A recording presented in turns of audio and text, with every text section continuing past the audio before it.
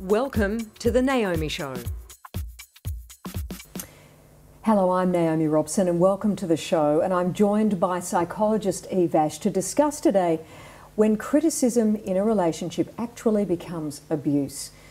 Now, Eve, it is common, isn't it? And mostly you'd call it emotional abuse, wouldn't you? It is, and uh, it's when people feel really upset by the things that the partner says to them. So, what sort of things constitute emotional abuse? This kind of this critical well, nature of discussions, if you like. It, it's criticism, but it's actually repeated criticism, and it's especially if the person has asked for that not to be said, because the reality is criticism, if it's given well, is actually very good for us mm. because it helps us improve.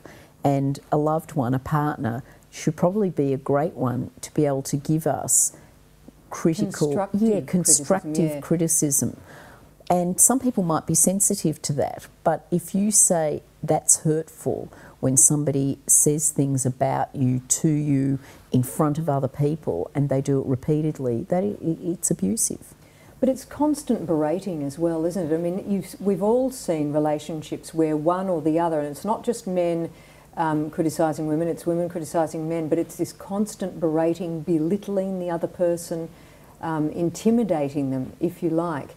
But the problem with that is that invariably people don't stick up for themselves, do they? Because with emotional abuse, it undermines your self esteem, doesn't it? Exactly. And, and it often happens when somebody's not assertive and then they lose their perspective. And they may have started a little bit assertive, but they lose mm. their perspective and then they back right down and then they just really fold inwards and get very hurt. And often it's that person is using it in such a controlling way. Um, really, I, I find it quite frightening when I hear the kinds of emotional abuse that people go through in their relationships. Friends and family can often observe this, can't they? They often see the picture from the outside and, and might actually reflect to their loved one, look, you're not being treated very well. This person is abusing you. And we probably need to li listen to them in those sort of cases, don't we? Yeah, and we tend not to because we get upset by it. But in fact, it's likely that they love you very much, mm. your friends and your family. And the best we can say is to really take heed of that because, especially if more than one is telling you, and if four or five are telling you, then you've got a blind spot. So, what can people do about this? Because what can happen when someone is being emotionally abused? They can get to the point where they feel they're worthless, can't they? Look, the most important thing is to talk to someone, to share that. And it doesn't have to be a counsellor, but a friend who you really can say, I feel bad, and to make a commitment to, to make this change. Now, it means making a request of the person to stop and deciding it may be that I am in the wrong relationship. Mm. And that's a really hard decision. But if you are being constantly emotionally abused, put down, belittled, you are not in a good relationship. What are some of the things that people might be hearing, might be being told, so that they can get a bit of an idea of the kind of phrases that people use to put other people down. What are some of those things? well, they may be about weight. Mm. They may be about the person's intellect. You're mm. so dumb. Yep. You know, you're so stupid. I think they're very common ones. You're so fat. So mm. things about their appearance, about their intellect, you know, you're so slow, you know, you're so pathetic. You know, mm. often they're generalisations um, they might even have always in front of them. You're yep. always this, you're always that. Um, and what can make it even worse is doing it in front of other people, which is, you know, even a step beyond. And uh, it's just, it's shocking. It is, and, and look, I mean, I've certainly seen it happen in, in friends' relationships, so that people understand what kind of effect can it have on people.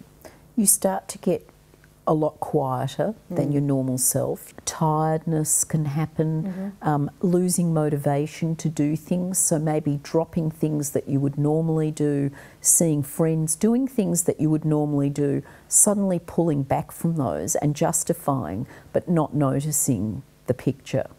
Um, if, if it's about eating, it may be that you start eating more, so that you start dysfunctional eating or you start not eating and losing too much weight.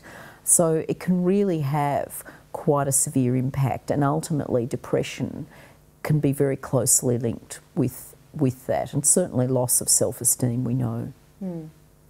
So, what can people do? What should they be doing if they feel that, yep, my partner is constantly criticising me, it does hurt my feelings, I am starting to withdraw, I can notice that my self esteem has dropped? What can they do about that? Different people respond to different things. It could be a friend that you talk to who's a really positive person. It could be that you start reading self help books and realise you're not the only one and there are strategies. Seeing a counsellor, all really good tactics. Mm. Well, thank you for that, Eve. And obviously, in your book, Rewrite Your Relationships, you actually have a chapter that would be very helpful for people in this sort of situation. It's called Reclaiming Your Power when your relationship is dysfunctional or toxic, which obviously an emotionally abusive relationship is. Um, and there seems to be no way out, scripts to rescue yourself. So check that out. It's called Rewrite Your Relationships. It's by Eve Ash. Thanks so much for that. And we'll see you next time. Your love life, let's talk about it at naomishow.com.